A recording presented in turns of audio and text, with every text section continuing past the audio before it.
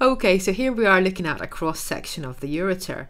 Um, and in this case, uh, we've got a tubular structure here, we've got quite a convoluted lumen, um, and the majority of the structure really is smooth muscle in sort of two layers. There's a sort of longitudinal layer here on the outside and a more circular layer with the fibres running towards us uh, on the inside. So when looking at the smooth muscle here, we can see the smooth muscle running around, so that's a circular muscle here, and then we can see a sort of longitudinal fibres on the inside coming towards us uh, here.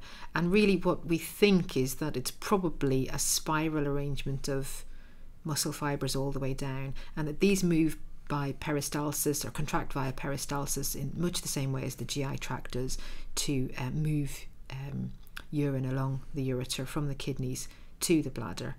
A little bit of nervous supply here and blood supply to the ureter as well. Let's take a closer look at the epithelium lining the ureter. And the nice thing about this is it's a really good example of an epithelium that you only find in the bladder and in the ureter. Uh, and it's um, a transitional epithelium. Uh, here, where the cursor is going now, is where the basement membrane would be. You can see there are several layers of nuclei, maybe five or six layers tall, and the top layer, uh, the cells are quite um, polyhedral a little bit domed at the surface. You can see the nucleus there very clearly.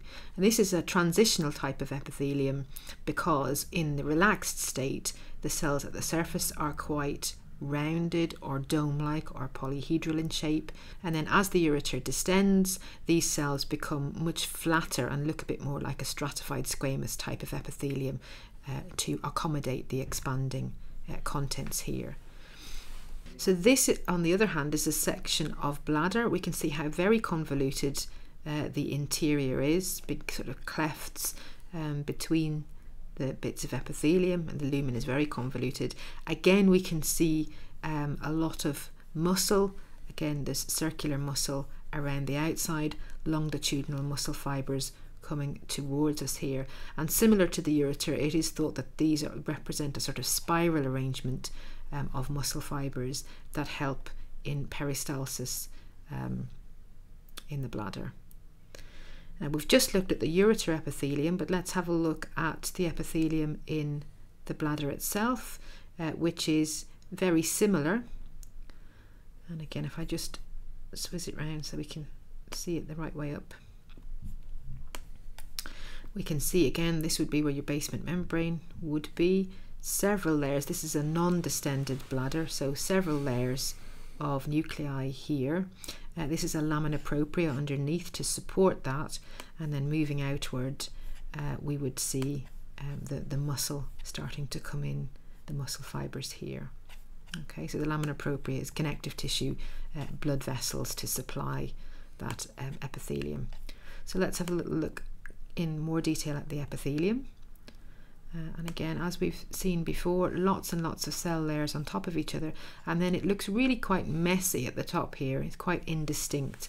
And this is uh, true of the relaxed bladder. Uh, it always looks a bit fuzzy. If you remember, we had a, quite a fuzzy surface in the villi of the small intestine as well because there were microvilli on the surface when you looked ultrastructurally. But here, if we were to look ultrastructurally, we would see that the, the surface membranes of these top lining cells uh, are very, very convoluted. Um, and that's to enable them to flatten out when the bladder is distended. So this is the relaxed bladder. If the bladder was full, uh, these cells that are all quite long and almost diamond shape become much flatter, much more expanded, and so the number of layers of cells appears to to um, reduce quite dramatically. It looks maybe as if it's three or four uh, cells thick, and then this fuzziness disappears at the top as these cells stretch out to accommodate the urine. These cells are really nothing more than uh, a means of um, containing urine. They don't do any absorption or uh, any sampling or anything. So, in summary, uh, the bladder and the ureter are both lined by transitional epithelium, which allows the expansion of them when they're full of urine. Um, they don't absorb or secrete anything.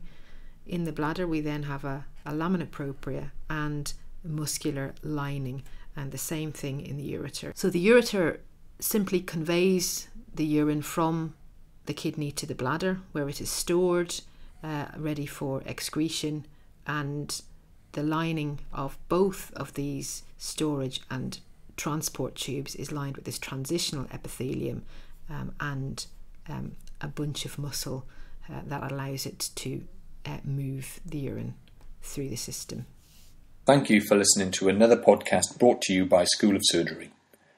Remember, you can follow us on Facebook at School of Surgery, on iTunes, on Podomatic at schoolofsurgery.podomatic.com, and finally by searching School of Surgery on YouTube.